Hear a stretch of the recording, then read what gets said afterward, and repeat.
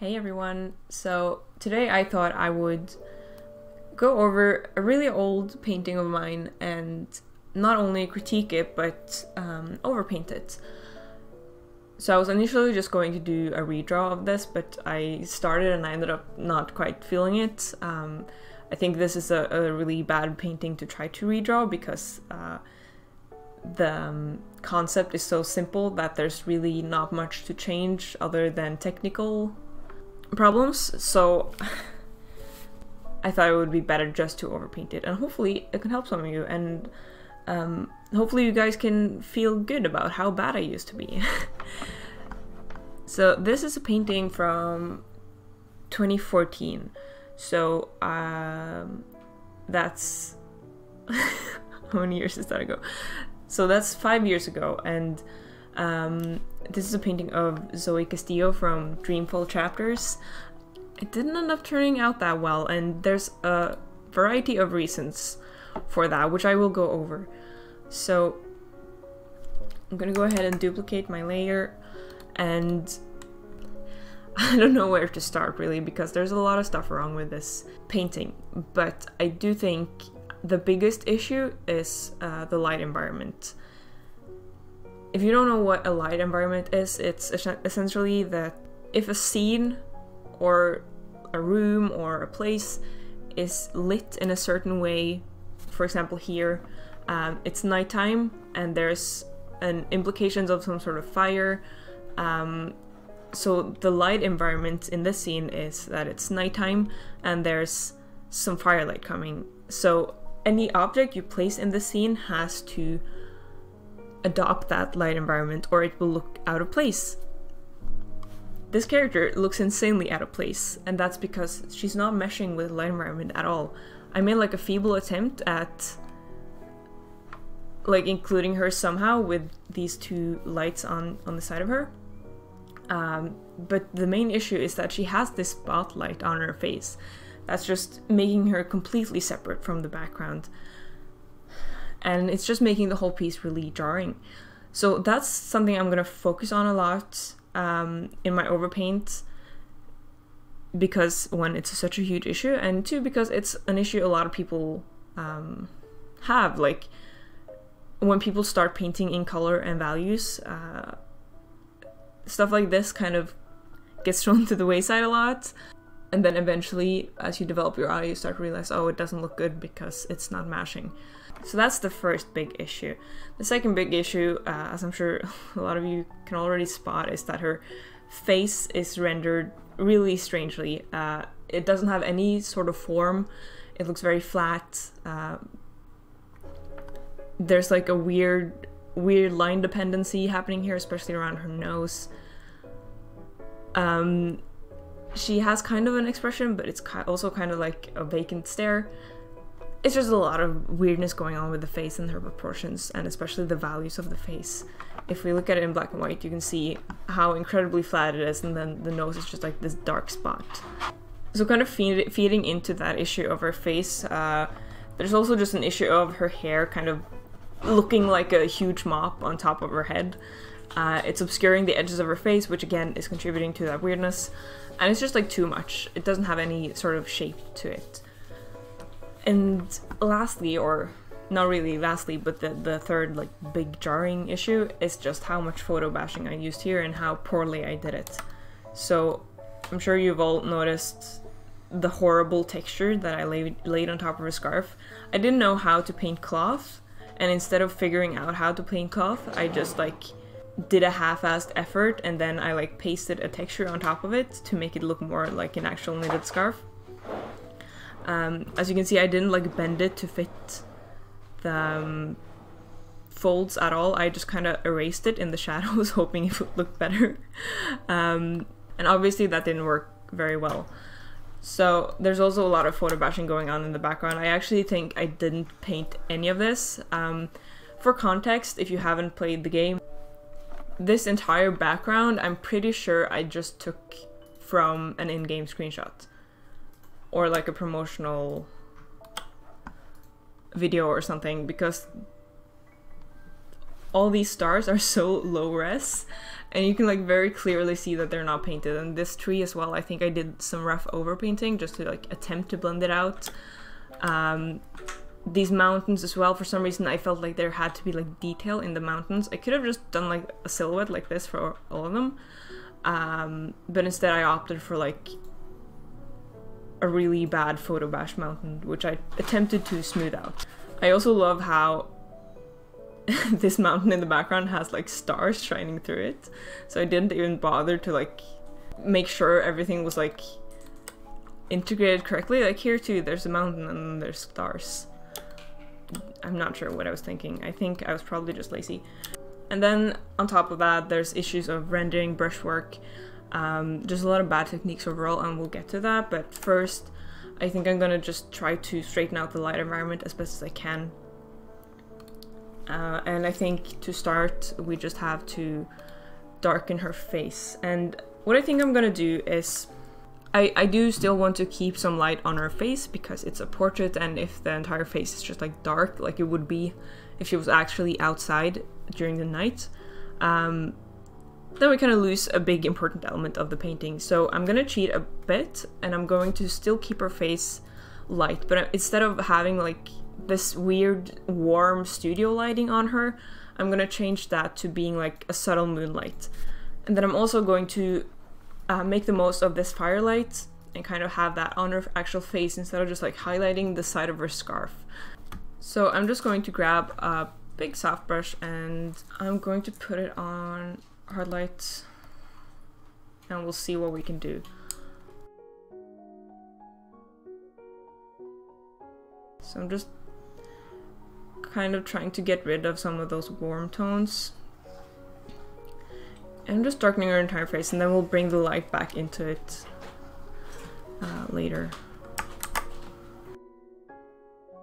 I'll also make the background a bit darker. The background, the sky in the actual game is very like blue and magical and that's nice but uh, again for the light environment's sake we're just gonna make it a bit darker. So I feel like the cropping of this painting is a bit awkward. It's like she's very like in your face and it's kind of uncomfortable. I don't immediately see a solution to that though, but I think just giving her a bit more space all around could probably help. Like maybe we should see the top of her head.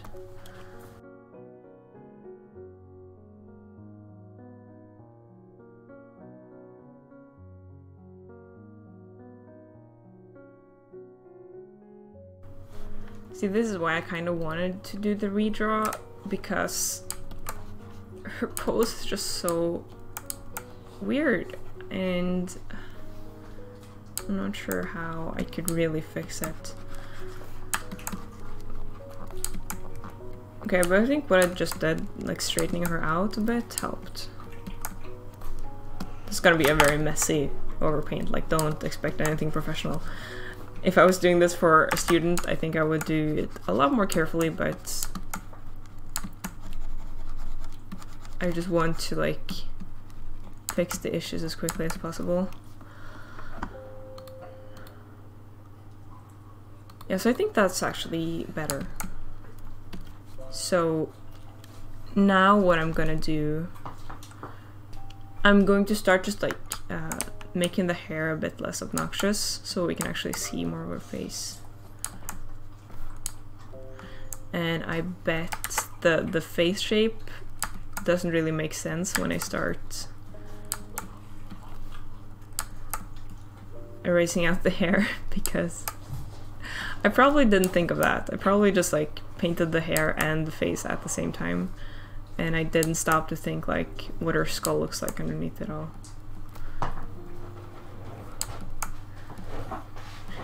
Yeah, so her face is very white and weird under here. God. So this is what happens when you have like you have an element that's going on top of the head somehow, like if you have horns or a lot of hair or a hat, if you paint that hat in or the hair in at the same time as you're painting the sketch for the rest of the body, um, you're gonna end up with these weird like structural faults, I guess, because you're not considering what the face looks like underneath that object. So here what I did was I sketched the hair and the face at the same time and I was just concerned with like how the, the features that were actually vis visible would show up. I didn't think about what the face actually looks like in entirety. So what you need to do uh, when you have an object that will kind of cover up your character a bit is you have to sketch the character as just like a naked full figure um, before you start putting clothes on them, before you start putting hair on them, before you start putting horns on them. Um, so you have like a complete overview of what their body and their face and their head looks like. And then once you kind of nail that down, then you can start putting those elements on top of it and then you'll ensure that your structure is accurate. And you'll avoid like weird round faces like this. There's like this shadow here. Like this. That makes no sense. The shadow would go more like this and it will be really subtle. So I'm just gonna erase that. And now you can really see how the mouth just looks like it's it's pasted on there. It doesn't look like it's a part of her face. And and that that's kind of the same um, the same for her eyes and her nose as well. All her features are essentially just pasted on top of like this egg. You can really see it here how there's no integration of the features and there's no kind of concern about the the planes of her actual head shape. Something that's really important to do when you're painting a face is to just consider how everything is connected. Um, a face is not two eyes, a nose, and a mouth. A face is the whole head, and the features are embedded in that head, and and they need to have a connection between them. So you really need to study cheeks and the planes of the head. Uh, something that's been really helpful for me is, is studying the Asaro head and studying skulls, so you actually know what the structure is like, so you're able to kind of imply all those connections with like big gradial shadows and all of that stuff that makes the face look complete and not like just a series of features because what happens with a lot of young artists is um, they love painting eyes, they love painting noses and mouths, um, and so they sketch that all the time in their sketchbooks. Uh, and that's what I did. I, I would sketch eyes all the time in like um, my notebooks and stuff. So I would like go all in on the eyes, um, slightly less in on the nose and mouth. But then I never really stopped to consider the rest of the face, and, and this is what you end up with when you do that. So I'm gonna blend out, let's be on the right layer. there we go. So I'm gonna blend out the lips. Oh god, I'm still on the wrong layer. Professional artist here. I know what I'm doing. So I'm gonna blend this out because this edge is just way too harsh. It looks like she's wearing a, a really ugly shade of lipstick just gonna soften this all up.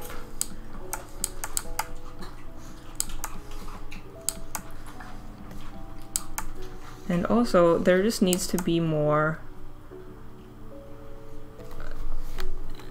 more implied volume on things.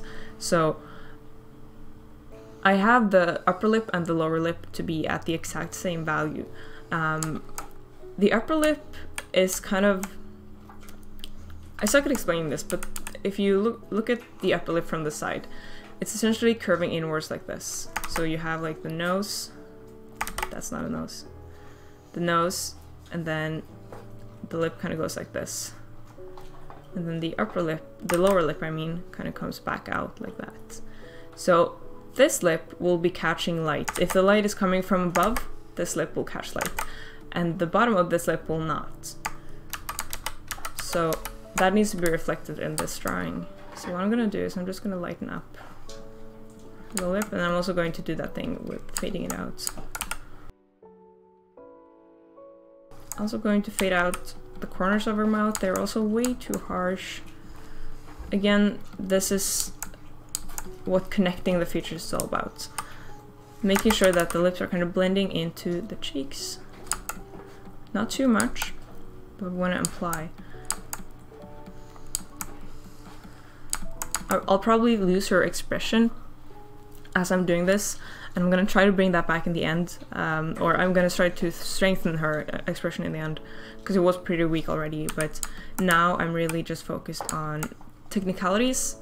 Uh, that's the thing with overpaints. You kind of end up losing a lot of personality as you go um, which is unfortunate but that's just gonna happen. I will be trying to not just bring it back but to improve it at the end though we haven't really established established light source yet but with ambient light, uh, especially overhead ambient light, the chin will always be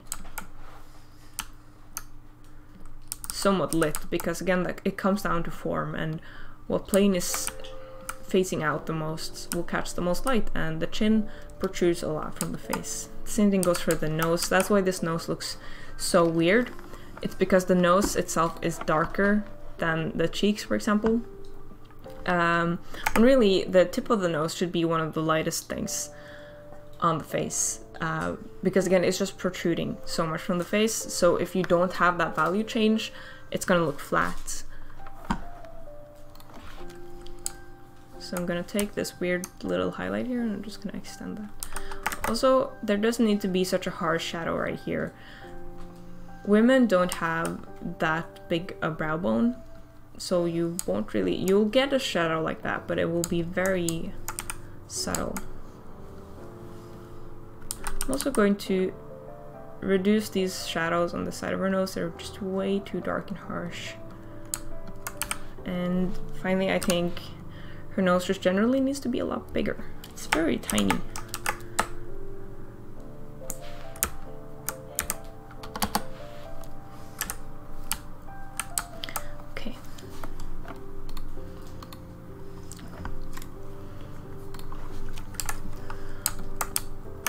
gonna fade out these weird lines here. You won't get lines this harsh on the face. It's just because I didn't know how to imply form and I knew that I knew that there's like nostril nostrils here and that the nose kind of ends there, but I didn't know how to show that with, with value, so I just put a line there instead. And that's that's what line dependency is. It's where you don't know how to imply form, so you just put lines everywhere instead.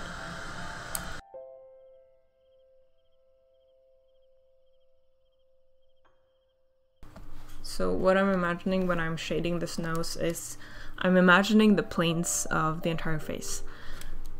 So what that kind of roughly looks like, um, and there's a lot of different ways of doing this. This is just like what I'm envisioning in my head, so it's not going to be fully accurate. But you kind of have like the brow bone that's curving in like this, and then you have the actual bridge of the nose and the tip of the nose is kind of, on some people, it's kind of protruding out a bit more. And then the underside of the nose, that will catch the shadow. And then the nostrils, I kind of, or not the nostrils, like nose wings, um, half of them will be in dark, half of them will catch a bit of light. And then you have kind of the side planes that are going down like this. Note that in my original drawing, I had them like this, like very small, but really, they go out a lot. Like if you touch your own face and you touch like, and you touch like the sides of your nose and drag the fingers down towards your cheeks, you'll kind of notice that it's a very gradual slope. And it kind of follows the under eyes see how like this line can continue going around the eye sockets? Like that? See everything's connected. At the same in the same way that the tops of the nostrils kind of go down. Not like that. They kind of go down and they meet the mouth. And then again that kind of meets this line with the cheekbones and every little thing can kind of be dragged into these lines and can be connected. Um, and this is basically your guide for where to shade um, both with a hard light choice and just with ambient lights. so generally like and this is a very simplified guide like don't come for me but you can kind of know like after a while you kind of learn the general places where light will hit and it makes it so much easier to just like get the form of your faces right. Uh, so the forehead will usually be lit but then the side planes of the forehead will usually be a bit more um, dark. And actually uh, there's kind of three planes of the forehead like if it's more like this if that makes any sense. And like you'll get the most light up here then it will kind of fade down and then it will kind of be like this with just the straight up overhead lights. uh, the cheekbones will always be kind of highlighted and then they will fade down be careful not to make like a harsh line here because that will make your face super unappealing you have to be sure to fade it out same thing over the other side. Then the, the nose bridge will be very bright. The chin. This area will catch a bit of light. Because again, it's just facing up. It's facing up towards the sky.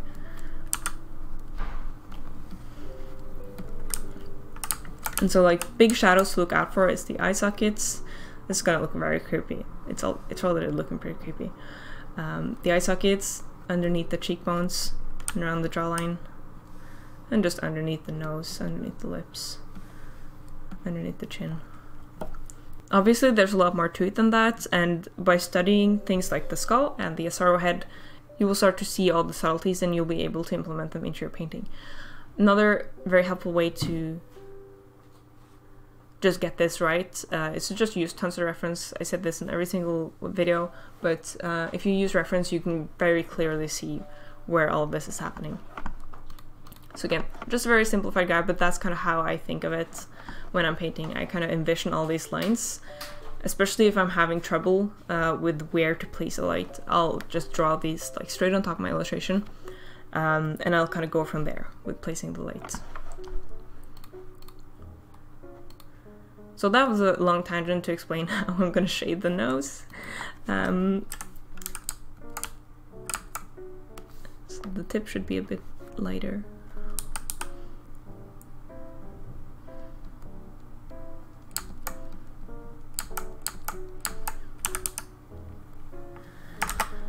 Yeah, that's okay for now. I'll go over all of this again once we have the lighting. Just want to make sure the structure is there before I start messing with the lighting. Um, if I start applying lighting to the face that had really bad form, um, I'm just gonna have to redo that and it's good to have your structure down before you start putting like superficial elements on top of it. So lastly we have the eyes and I think the eyes are like a bit too big and her eyebrows are way too low. Her eyebrows are nearly like glued to her upper um, eyelid. And the eye sockets are so dark. So I'm just gonna like tuck this in a bit. She has like a lot of eyeliner going on, which is making her eyes look very big. Like her actual eye is this big, but I like gave her so much of an edge that like they appear this big.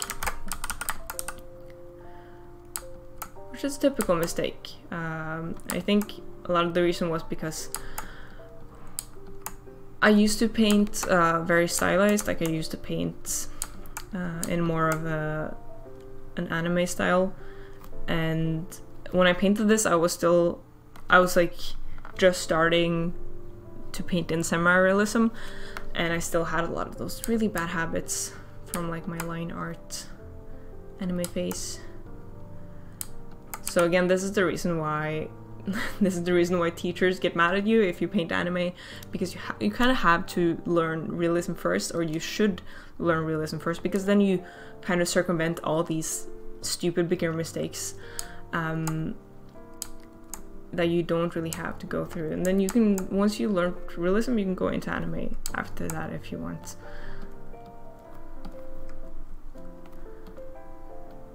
Okay, so essentially I just took away all that blackness around her eyes.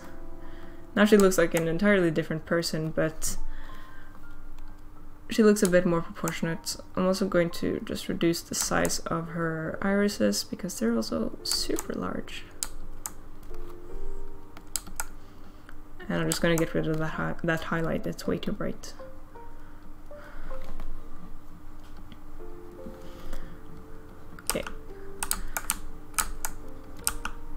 I'm to give her some more shadow underneath her eye. Again, going back to this there would be shadow there, under eye circles, um, and also just because of the indent of the eye sockets themselves.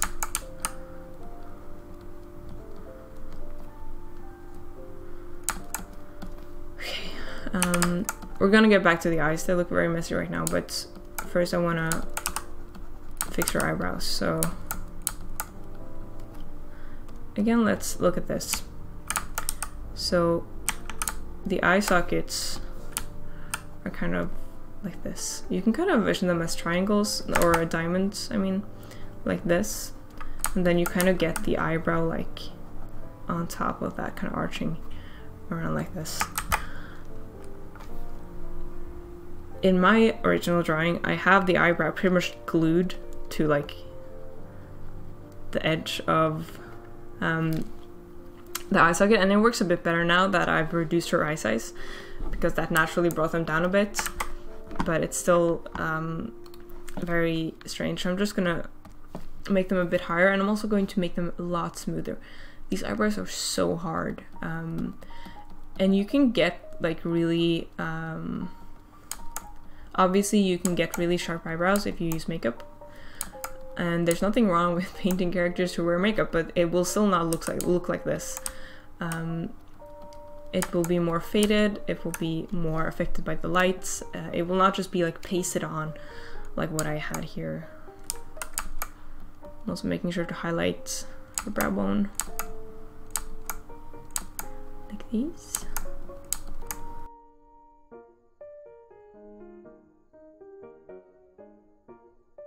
Okay, now I'm just gonna go over the soft brush and just blend out some of my brush marks.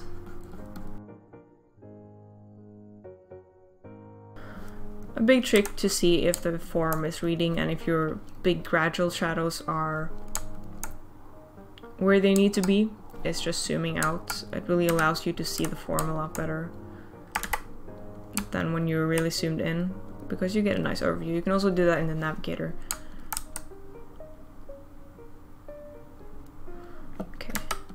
So I think her face overall looks a lot better. Uh, her nose is still a bit small, her forehead is very large, the hair is looking all wonky. But it's better, it's getting there. So this is what we were working with, this is what we have now. So this is kind of more appealing in a way because she looks prettier. Now she just looks like very strange, her head is so big. but we're gonna fix that. Um, what I'm gonna do now, it's kind of scary, I'm gonna flip the image. I should have done this earlier uh, now if if there were mistakes in terms of like angles in this painting, which there sure, surely were, I've essentially just painted on top of them. So I'm kind of nervous to see what it will look like flipped. Okay, it's not horrible, but it's it's a bit uh, wonky for sure. I'm just gonna fix that up. Nothing really to say about that. Just like your face shouldn't be skewed to one side. I'm also just going to pull in a bit of liquify to make my life easier. And with that, I'm also going to pull in her hair a bit more. Her hair is standing so much like off her, off her head. It's like she has just way too much volume or a really weird and bad wig. Okay, that's better. And it's bothering me so much I can't not do anything about it. I'm just gonna pull the hair in hair will always like stand a bit off the skull. Like a lot of people, when they start painting, they paint the hair kind of like at the same level as the edge of the head, and it looks like the hair is glued on. Hair naturally has a lot of volume to it. Um, in literally every person, unless their hair is filled with oil, which I think even then it would stand off the skull because it just has mass and it's also growing outward. Uh, so it will stand off the head a bit, but this much This is just a crazy amount. Uh, we should take it down to here, I think. Okay, so now I feel better about the structure. I'm going to start bringing in some light. You can't bring in light before you know what your forms are like because when deciding where to place your lighting, you should really think about how it's going to enhance the forms. If it's not enhancing the forms, um, you should change the position of your light essentially.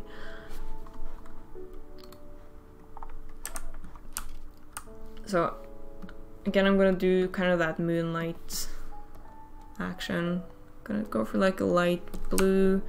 Put this on. Uh, I'll try overlay first.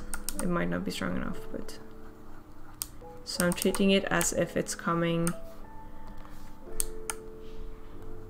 not straight from above, but like pretty much and like straight on her.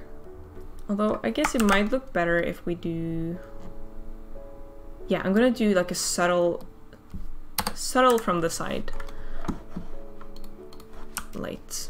Uh, because then we'll get more darkness on this side and then we can play up the firelight in, the, in those shadows. And the awesome thing about applying the light in a separate layer is I can just erase out any part where I want a hard shadow.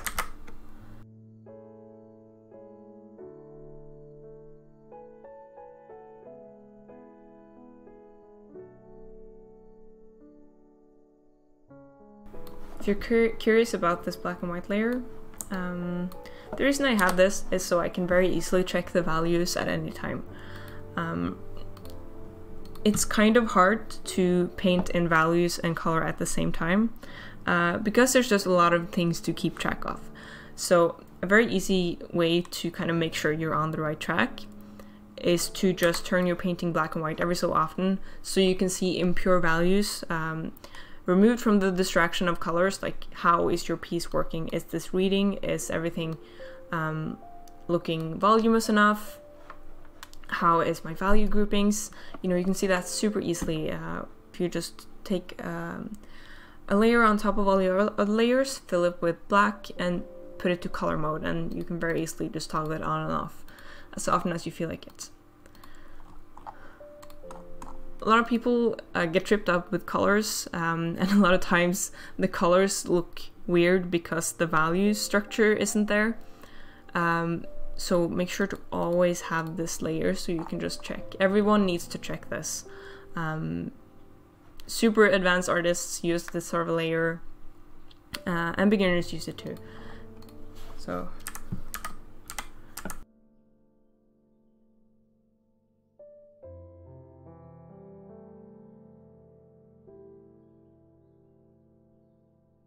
And then it also needs to hit the rest of our body, uh, which isn't really structured yet, but we can just kind of imply it a bit. Um, like, another big issue with my first painting was that the light was hitting her face, but the light isn't hitting her hair, it's not hitting her scarf, it's not hitting her arm over here, it's like her face is in a completely different space than all of the rest of her and the background. Uh, it's completely separate and it just makes it look so uncanny. So whenever you have a strong light source, make sure it's cohesive across the entire painting. Anything that is in the cone of light will get lit up.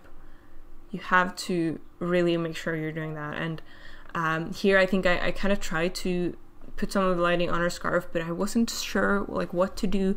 Again, I didn't know how to paint cloth, and I don't think I brought in that much reference or anything to really help myself. Um, and so I just like timidly put in some vague light. It's not even like from the right direction. It would be more like over here. So what you need to do when you encounter something like that is you need to take a step back and you need to do a study or if you don't have time, which you probably do, but sometimes you don't, um, just do some observation.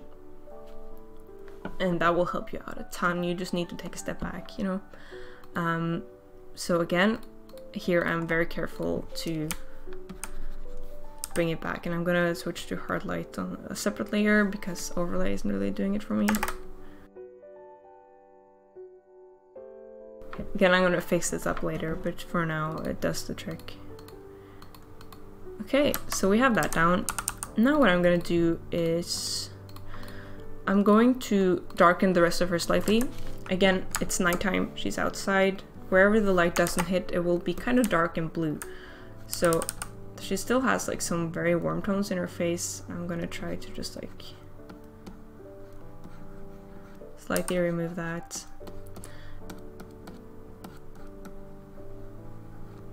This is again a result of the light environment. Um, at night, uh, especially when the moon is out, everything will kind of be washed in this blue light. Um, so a lot of red tones, a lot of warm tones, they will kind of just disappear unless you have another light source there um, that's bringing in that warm light. Again, a really good way to understand how this all works because it's really hard to like know exactly what the colors will do um, is to do studies, photo studies, studies from life, film studies, all of this is very helpful to understanding light environments and how they affect colors. Because sometimes you think you know and you do a study and you're like, whoa. like why is there why is there purple here? Like I thought this painting was teal. Like you discover all these weird subtleties uh, that will really take your paintings to the next level. Okay, this doesn't need to be that intense we can still keep her artificially bright. Again, I want to stress that if this had been a real person outside during the nighttime, she would be like this is what we would see really. Um, everything gets so dark at night and it's very hard to paint to do like a character painting where the character is important um, and showing the the face and the outfit of that character. It's very hard to do that completely realistically. So once you know once you know how real nighttime works, it's okay to kind of bend the rules a bit just to make your paintings look as good as I possibly can. So that's why I'm making her face a bit more light than it really would be. I'm making her a bit more light than she really would be. Um, that's just what I have to do to make this painting work. It's a portrait, it's really not that great if you can't see the face, unless you, I was going for like a very artistic vibe. Um, I can't believe I just said vibe. I'm very ashamed of myself, but but yeah, we're going for like a quasi-realistic lighting setup here. Lastly, what I'm gonna do is I'm gonna get rid of this weird light here. Um, I want to briefly touch on this. Well, I can. So this is something, uh, again, a lot of beginners get wrong. Um, when you're painting uh, a rim light or um, like a backlight, any sort of secondary light source that's kind of just highlighting the edge of a character, it doesn't just kind of go around the edge like this. Like this the way I did this, it does not take the form into account at all. It completely ignores the form of the object. Same thing on this side. It's following the hair here, but then on the scarf, it's just like contouring the edges and also like going in towards the um, folds. It just makes no sense. In reality, um, let's say this light is coming kind of from above I'm really bad at painting these arrows. It's embarrassing. Like, let's say it's coming in like kind of from above and behind. It would be hitting the forms in a very different way. And you would get places where it just doesn't hit at all because the plane is facing away from the light source. And you would get places where it's very intense.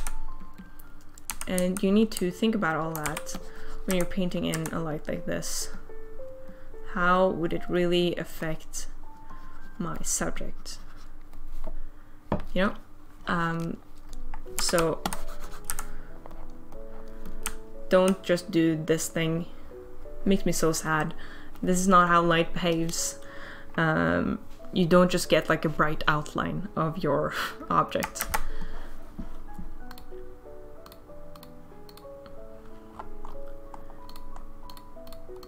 So I'm going to just erase all this because it's not great. So what I want to do is I want to use this light for all it's worth. Um, and what that means is I don't want to just like highlight the side of her scarf. That's not interesting. I don't want to pull the viewer there.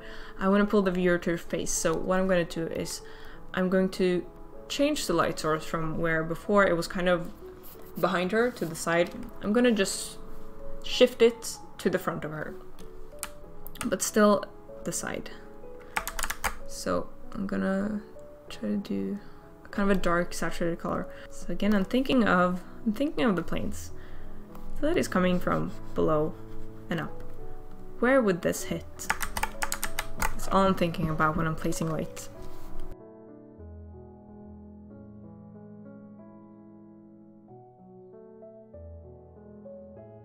And now I'm really not sure how much of the scarf will be highlighted. It's very hard because I don't really have a scarf to highlight right now. But I think it will be something like this. And then keep in mind that because the the scarf is kind of folding, again if you look at it from the side, the scarf is kind of like folding, very simplified, Jesus, like this. So if you have the light coming, um, don't mind me. You have the light coming up like this, parts of it would just be like, it would get obscured by the scarf itself. Like the scarf would cast shadows on the scarf. So you wouldn't get like a full highlight along every fold. Parts of the fold would just be like obscured by each other. I'm gonna work that in a bit more once we once we actually paint the scarf though. Same thing goes for the hair. She doesn't have any hair right now, but I can just like pretend she does.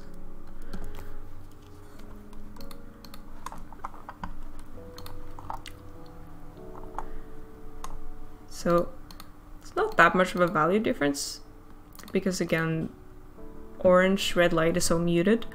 It's so kind of dark. Um, that you mostly see it in color. But that's okay.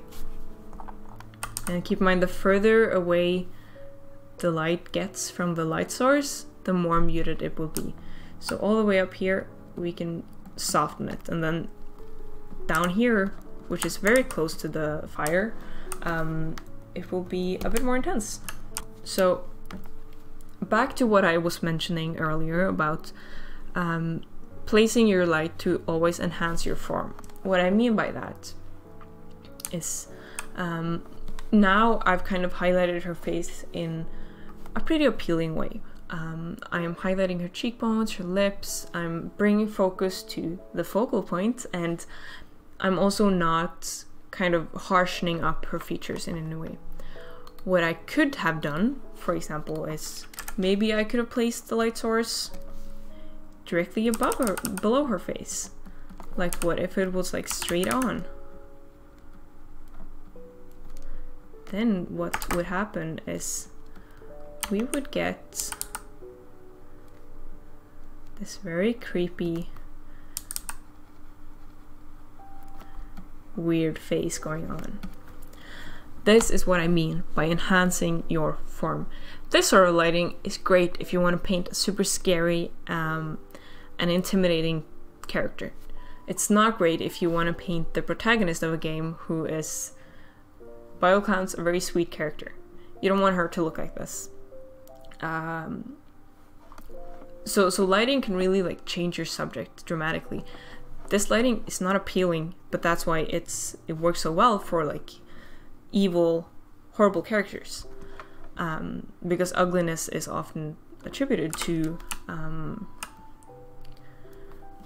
characters with low morale, and that's just a stereotype. Um, it's unfortunate, unfortunate in some ways, but in character design, you have to really um, take some of those um, archetypes into account when designing, um, because that's what people respond to. So, nice side view is better than super harsh bottom view. And this goes for any any way you're choosing to light your subjects like some angles of light will give you like a really weird hard shadows across the face.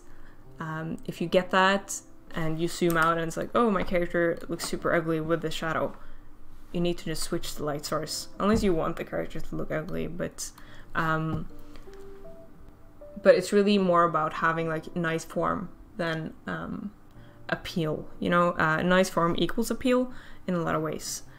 Uh, you just want to make sure your shape's read, and if you put a weird hard shadow across your shape, um, it's gonna fuck up the readability. Okay, so next step is painting in her hair. Uh, I feel a bit desperate to just make her look pretty now because she looks so weird. Um, I'm just gonna merge everything, uh, but first I'm gonna show you before and after.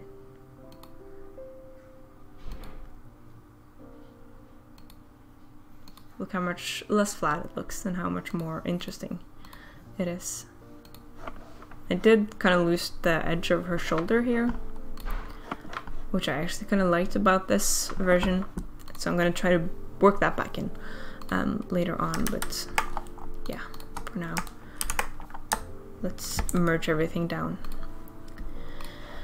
And start doing something about this hair situation. Uh, the first thing I'm to do actually is I'm to paint in her ears. Uh, You might be thinking, why in the world would I bother doing this? Uh, because the ears aren't gonna be visible. Um, again, this comes down to what I mentioned earlier. Painting the stuff that's going to go underneath before you start worrying about um, the objects on top.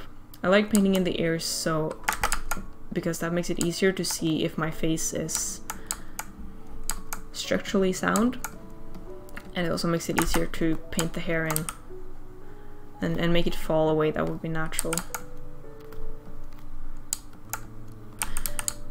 If you ever have trouble painting ears, uh, the general rule is that they start at the kind of end of the eyebrow and they stop at the nose. So just got some nice mushy ears. Now we can start working on the hair. I'm also going to just like, to give myself as clean a slate as possible, I'm gonna reduce this stuff that's going on here a bit more. like that. Okay, so I might just... Actually, I'm gonna pull a picture from the game. Because I still want this to be somewhat accurate to the character. Usually I have all my reference either on a second monitor or in a PureRef on top of my Photoshop, but just to show you guys, I'm gonna place it here.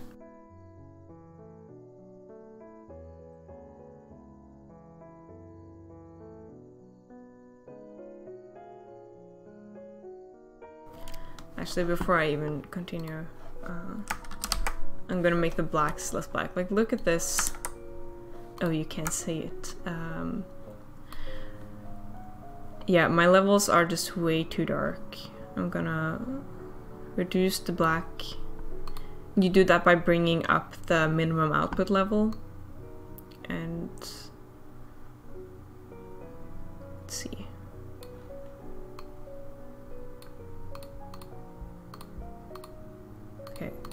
So this is uh, a lot easier to work with now that we don't have so much like straight up blacks. It's very easy again when you're painting a night scene because it's so dark it's easy to end up with a lot of like pure blacks.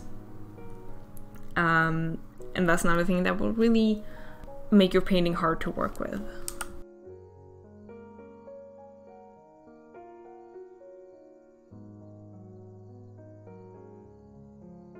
Gonna reduce the size of her face itself because now that we have the hair back on, I'm just really seeing how how big it is.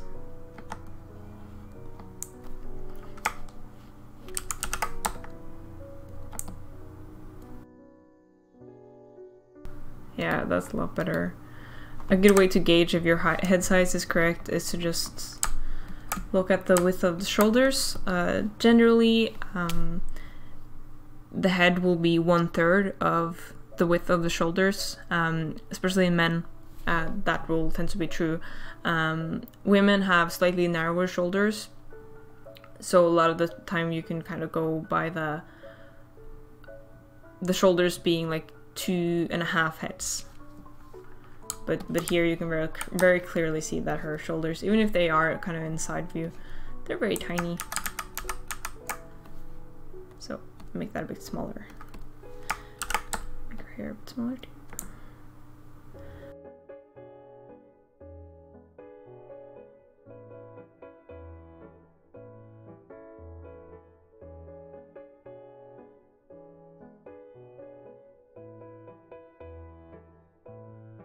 So we can start bringing some light into it. I love putting like um, colored light on hair because it just does such interesting things. And like the darker the hair is, the less it will be affected by the light. So because Zoe has uh, almost black hair, it wouldn't be that intense, but I'm giving myself some creative freedom to play with it a bit more. I'm not too pleased with these shapes though. Okay, so I'm gonna take a quick, break. Just rest my eyes a bit so I can look at this uh, freshly, and then I'll be back. Okay, so I'm back and I'm not seeing any jarring mistakes, um, just like the general weirdness that's still there.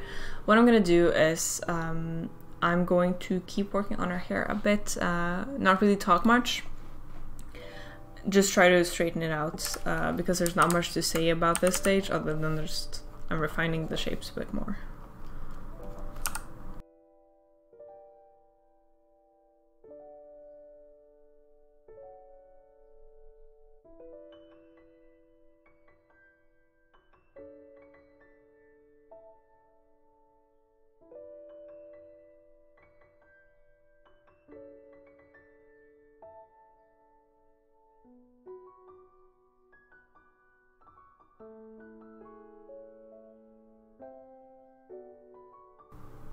So her head shape is getting better. I think once we straighten out the features proportions a bit more, um, it's gonna start really coming together, but for now, I need to deal with her body um, and her clothing.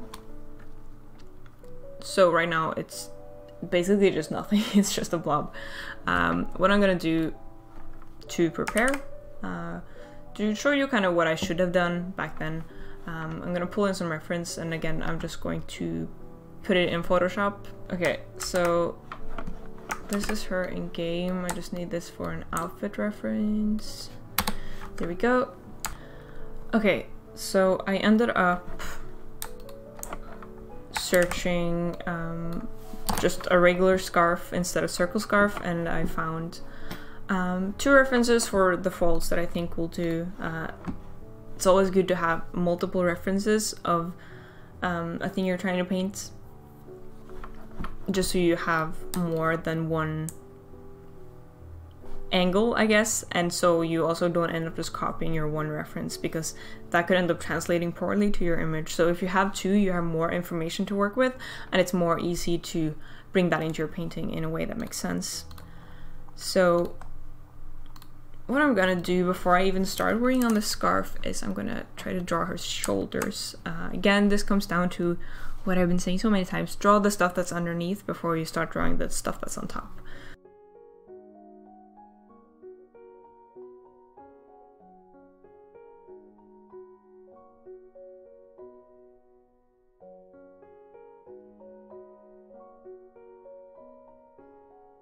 So kind of trying to mimic like this shape that's happening here. I'm still not that great at painting cloth, so this is still a challenge.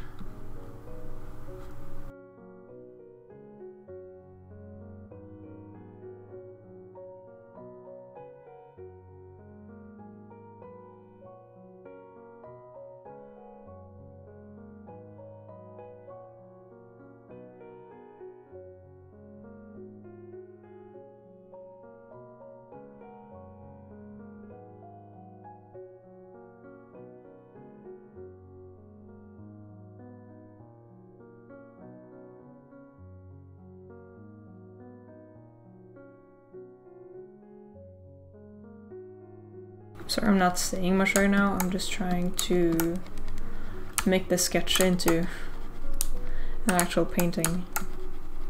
And uh, I'm just continuing thinking, thinking like yeah, the way I've been explaining. Um, thinking of the planes, thinking of the light environment, how the different colors of light will affect these objects. Just thinking, thinking, thinking, while I'm also trying to get rid of the sketch.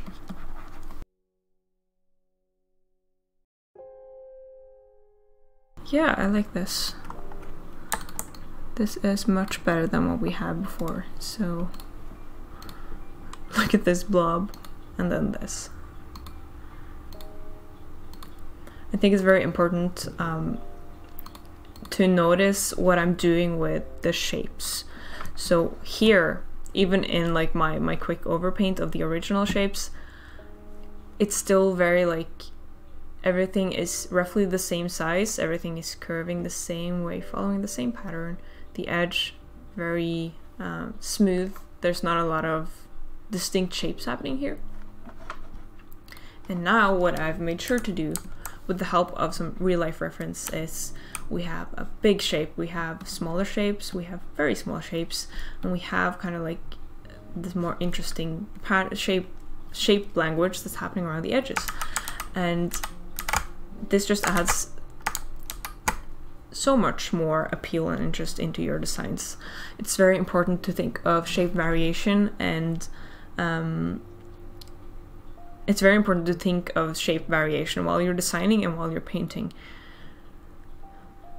And, and that means varying size and just varying the general shape of things. So maybe you have some shapes that are like this, maybe you have some shapes like this. You know, you want to vary that shape. You don't want to just like do like a bunch of ovals because that's boring. There's no visual interest there. So now I think it's about time to start uh, bringing this all together into painting that works. I think we've done most of the work already. Like the, the most important changes have been made. Um, we have gone from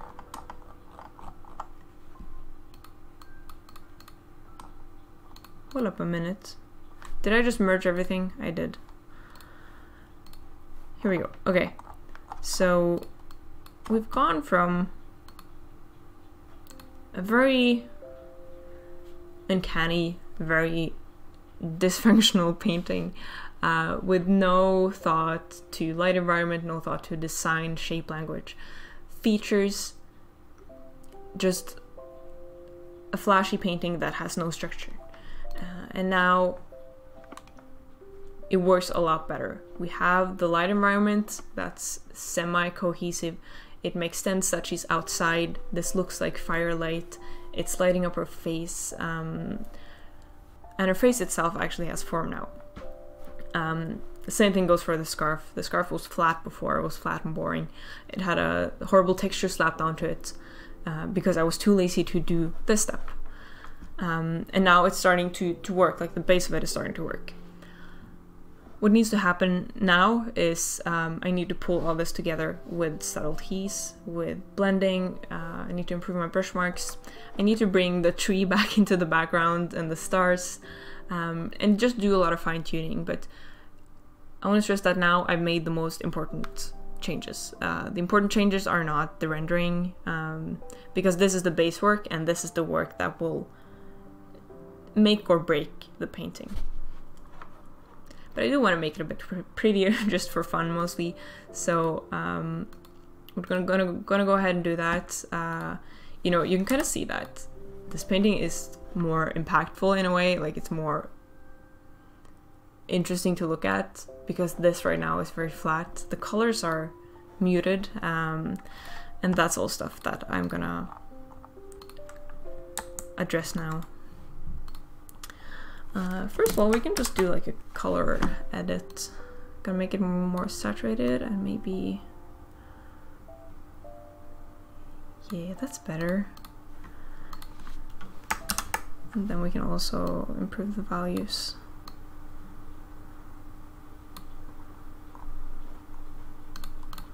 A bit, like that. And we need to bring uh, the symbol back into her forehead. I'm just gonna do that now. I think that will help um, make it more interesting. As you can see in, keep going back and forth. Uh, in this painting, I just like, I used a super hard brush and, and just painted this in. And the edges are so hard and again, it's just another element of the painting that looks like it's been pasted onto it. Now I'm gonna actually paint in that symbol with a brush that has some texture so it looks more like it's kind of a part of, part of her actual face. I was going to just give some more thought to how it would curve. So I'm gonna crop away my reference and I'm gonna pull it up whenever I need it. I just need to get the full picture of the actual illustration without that distraction. What I'm gonna do is I'm gonna have, go ahead and actually pull her more into the painting again, more into focus, like that.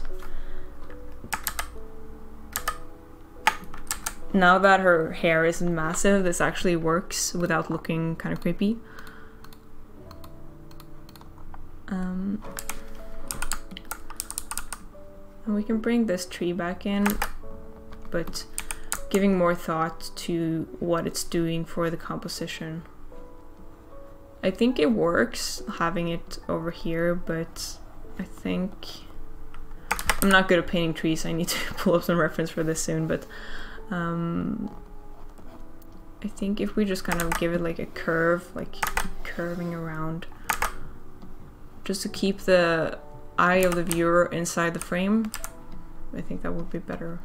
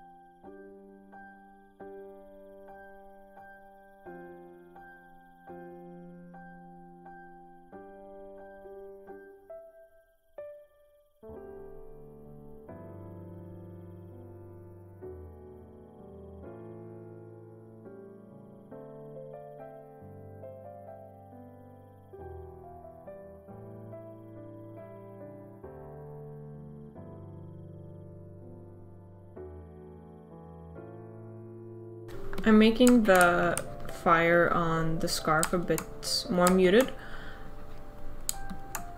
And I'm doing this because of the local value and the local color of the scarf.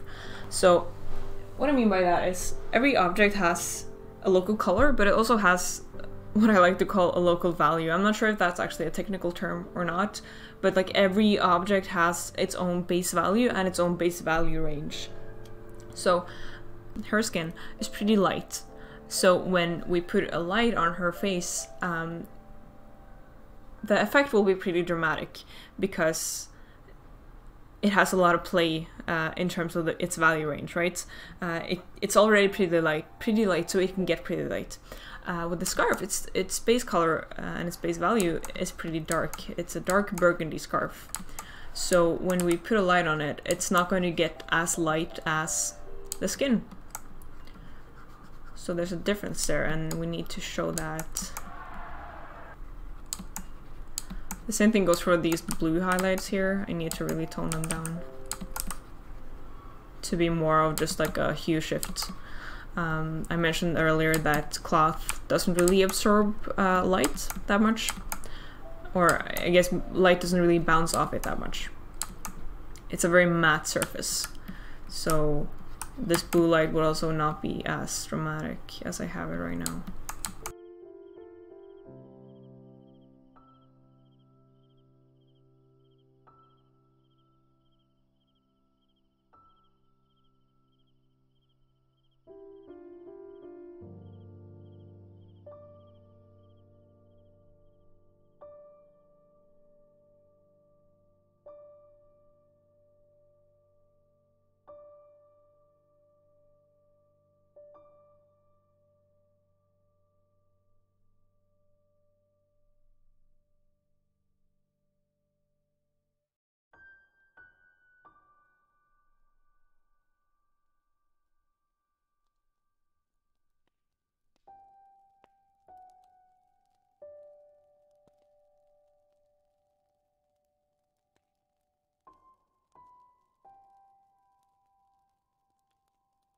I think her mouth is actually too far down. I think that was probably a mistake that I didn't spot in the old painting.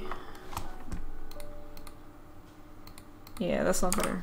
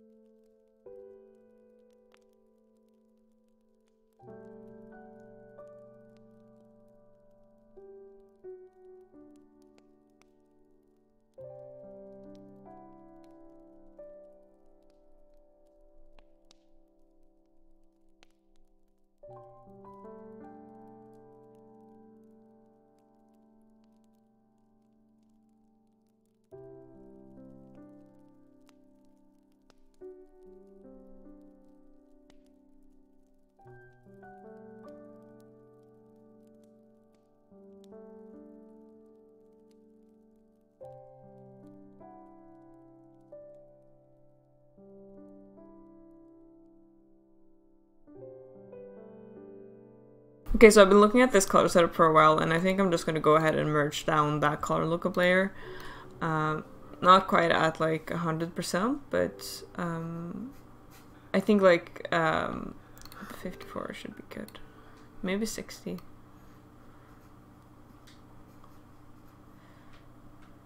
I'm gonna go ahead and make it 60. It looks a lot more moody.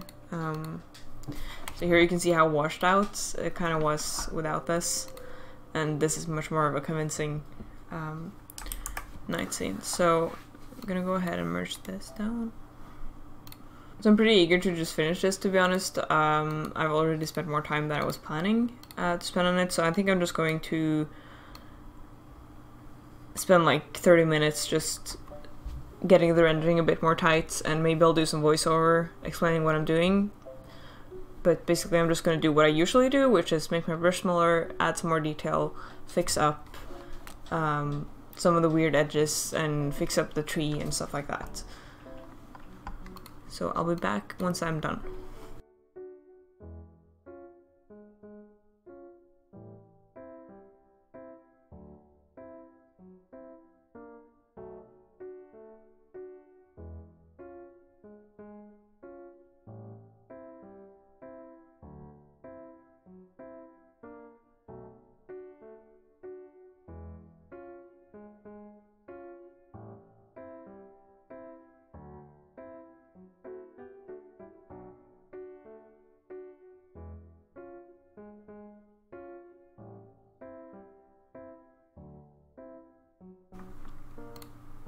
Want to briefly go over um, the differences in rendering from back then and now, um, because this is another thing uh, that I used to do a lot and that a lot of beginners do as well when they render. Um, you can see that I've gone in with like a very tiny brush, um, especially on the hair, putting a lot of detail like around here with just very small brush strokes and I, I drew in her eyelashes with like a tiny brush.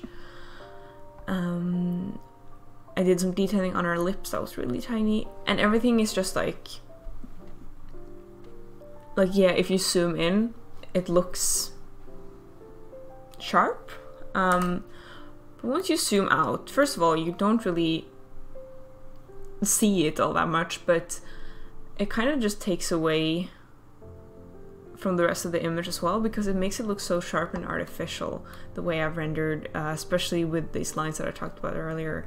Um, but now I'm, even though in some ways I'm putting in more work in terms of um, defining those key features, I'm focusing much more on the values and the colors and the shapes than just the actual um, detail work. Um, so I'm still rendering a lot, and um, there's this kind of misconception about rendering these days that uh, render just means like lots of very very small details. Uh, rendering is actually just implying detail, uh, so you can render in two seconds if you're really good. Uh, it's all about just implying that detail, so when you're zoomed out, it looks like there's um, detail and texture, and your elements look polished and vibrant. So, for example, on her lips, um, they don't look perfect, but I would say they look like they have a bit of that texture of lips and they look like they have some shape to them. In my original, um, again, it looks like a sticker that's been put on her face. Um, those little lines I made there don't really add anything in terms of the texture, they still just look very smooth and artificial weird. Uh, but here, it actually kind of looks like she has some of those like um, wrinkles in her lips, and if you zoom in, they're really just like a few strategically placed brushstrokes. Um, it's not like I'm going in with like a four pixel brush and I'm just like, oh, yeah, this is rendering. This is what rendering is about. Um, you don't want to do this uh, unless you're going for like a crazy like Ruan style where where he does use a lot of those like tiny brushstrokes but even with a style like that he leaves a lot of room for areas with bigger brushstrokes and areas of rest where there's not that much detailing so I want to put some more detail into the eyes because the eyes are kind of the focal point, like her forehead and her eyes. That's what I want people drawn to. So I want to tighten them up just a bit more. But I'm not going to go in and like draw in her eyelashes like very carefully like that and then just call it a day. What I'm gonna do is I want to make the form of her eyelids a bit more clear because right now they look a bit flat and, and there's a bit too much of like a line going on here. I want it to look more like um, it has some volume to it. I want to get rid of that line. I'm also just going to clean up some of these brush marks and maybe I'll add some eyelashes too but I'm not going to add them with a small brush like this. I'm going to add them with a big brush to make sure that they blend into the rest of the painting and they're not this like sore spot where you can clearly tell someone zoomed in, they used this tiny tiny brush and then they just like placed in some hard lines because that that will make your painting kind of jarring to look like a lot of the time. Another point now that we're talking about the eye, eyes is uh, for her highlights in her eyes, I just used like a pure white. Um, which makes no sense for this scene, but it also makes no sense in general. You won't get like pure white highlights in eyes. I think most people probably know this, but I still see people do it. Even if you're standing outside and you have the sun in your eyes, it's not going to be pure white. Um, you might find photographs where that's the case. Um, and in that case, it's usually because the camera just couldn't pick it up or because they've been edited.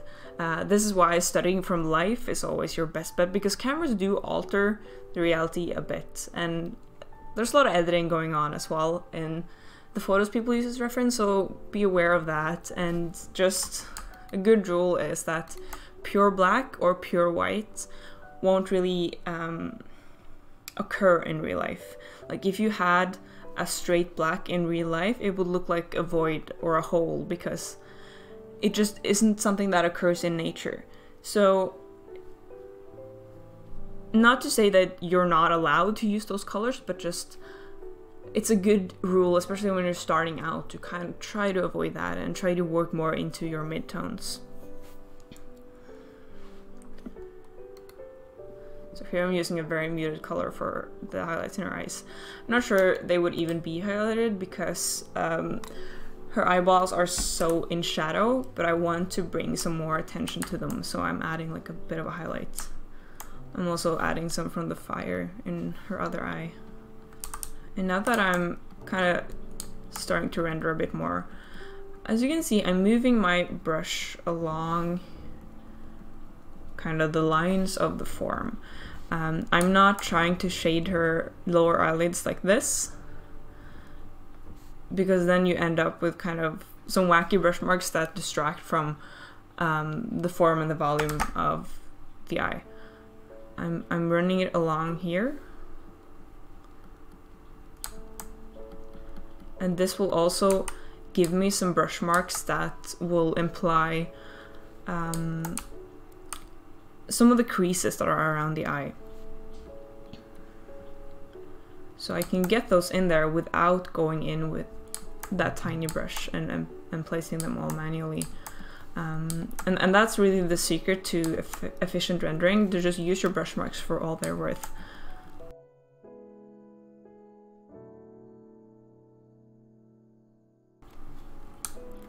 There's like a weird hard shadow here. I don't think that would really happen in real life. I mean, she does have very high cheekbones, so maybe, but I'm just gonna keep that there because I like it. This needs to have some more light on it. Because again, remember the planes? This is going inwards and then the eyelid pops back out. So it will catch some more light than this top part. If you start thinking in terms of planes and form instead of just detail, uh, rendering becomes much easier and you end up with a much prettier result and it's easier to kind of know where to stop because when you know when you can see that your forms are looking like forms, um, you kind of know that you've achieved what you need to achieve.